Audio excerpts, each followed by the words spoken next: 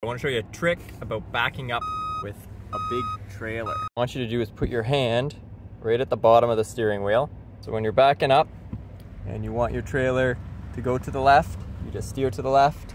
If you want your trailer to go to the right, you just steer to the right. Allows you to do really quick corrections without thinking or messing up. Go left, drive left, go right, drive right. And it allows you to back up long distances really quickly. You know where I learned this? Where? The manual. You should read it, it's pretty cool.